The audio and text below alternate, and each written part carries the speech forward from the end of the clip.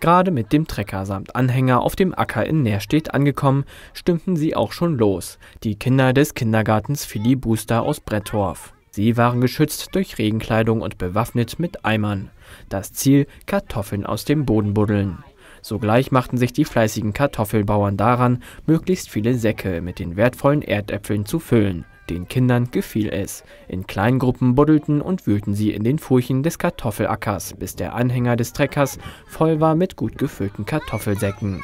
Sylvia Lüdke, Mitarbeiterin des Kindergartens, ist froh, dass die Eltern der Kinder die Aktion so gut unterstützen. Auf dem zur Verfügung gestellten Kartoffelacker von Dietz Wichers geht auch das NWZ-Projekt Duell der Felder in die nächste Runde. Am 9. September ernten Journalisten ihre Kartoffeln von 9 bis 14 Uhr. Gemeinsam mit den Junglandwirten laden sie zu einem kleinen Fest an der Brettorfer Straße in Nährstedt ein. Besucher können sich Tüten mitbringen und kostenlos die geernteten Kartoffeln mit nach Hause nehmen.